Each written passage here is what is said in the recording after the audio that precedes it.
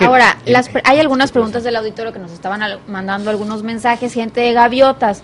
Nos dice que ellos en algunas partes de gaviotas no tienen agua, sin embargo el recibo del agua les sigue llegando. ¿Qué pasa con esa gente de la colonia gaviotas? Tenemos que ver, este, Yolanda, de, dónde, de qué parte de gaviotas estamos hablando, porque la generalidad de gaviotas tiene agua.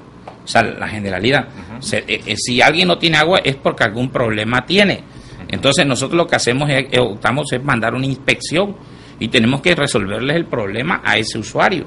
Porque gaviota, yo te puedo decir, la general de gaviota tiene agua.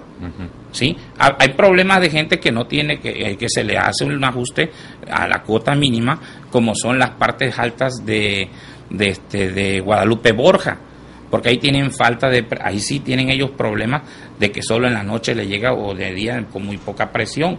¿sí? Pues está el ingeniero Salinas por poner un, y el presidente por poner un, una bomba este, este, represionadora a esa zona para beneficiar la zona.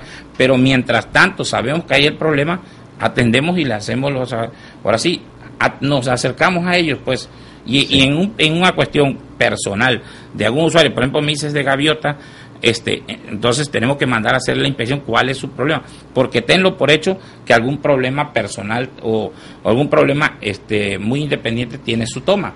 Nosotros le mandamos a hacer la, inspección, le mandamos a hacer el bombeo directamente a su línea, destapamos, el, si tienen medidor, el medidor, le hacemos a veces la limpieza y puede ser que con la limpieza del medidor, de los sólidos suspendidos que vienen, se, se haya tapado, entonces le hacemos y lo dejamos con, con el servicio. Grupo Presente Multimedios, evolución, comunicación, compromiso.